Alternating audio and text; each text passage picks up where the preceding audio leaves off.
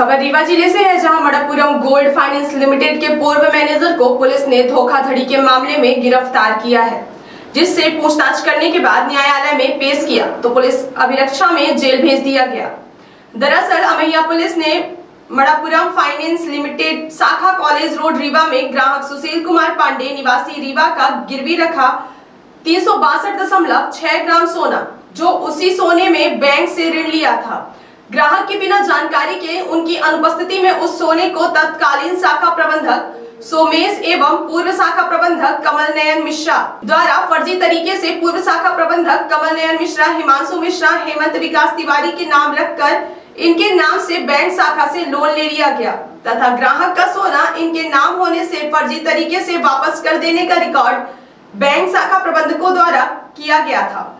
जिस पर अमैया थाने में एफआईआर कराई गई थी। पुलिस ने 420, 409, 467, 468, 471, 120 बी 109 के तहत अपराध पंजीबद्ध कर तलाश कर रही है। मामले में आरोपी शाखा प्रबंधक सोमेश पिता गोपालन गोपी उम्र 35 वर्ष लखनऊ उत्तर प्रदेश से गिरफ़्तार किया है। आइए सुनते हैं उक्त मामले में additional S P Anand Sonkar ने क्या जानकारी दी है। बैंक में एक धोखाधड़ी का मामला हुआ था क्या है मणिपुरम में विकास तिवारी ने तीन सौ बासठ ग्राम सोना लॉकर में जमा किया था।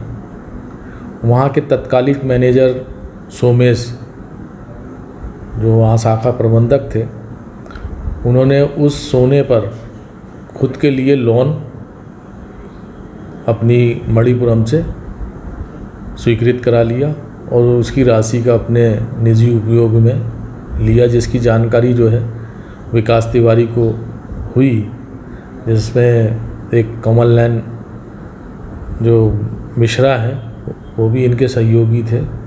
दोनों पर विकास की रिपोर्ट पर अपराध क्रमांक दो सौ उनहत्तर आवलिक बाईस, चार सौ बीस, चार सौ नौ, चार सौ सड़सठ अड़सठ, चार सौ इकहत्तर 120 बी और 109 का भारतीय दंड विधान की धाराओं में अपराध पंजीबद्ध किया गया था।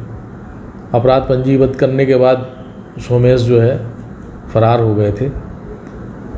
कल थाना अमैया ने इनको जो है दस्तयाब किया है गिरफ़्तार किया है और उनसे पूछताछ चल रही है।